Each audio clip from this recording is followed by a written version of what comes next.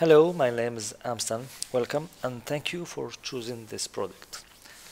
So once you open the project, you will see that I have opened already for you this four, uh, this three, sorry, uh, comp. So first one is just for uh, importing your logo and you can do that by just double clicking here and uh, import wherever logo is, browse and import. Second one, second composition is about uh, choosing your background. So we have here this first two, city one, city two are animated backgrounds. See, uh, the boat here moves, and this one also. Okay, just to give it a little bit of life, and the three others are just uh, like stars, nebula, and you have uh, sunsets, not animated, just still images.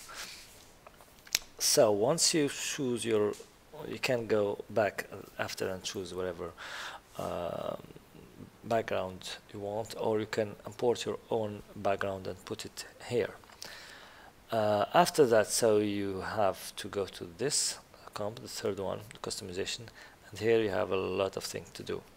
So you can keep it simple and use just the, um, the easy um, customizable asset that I provide you but you can go further and you will see that.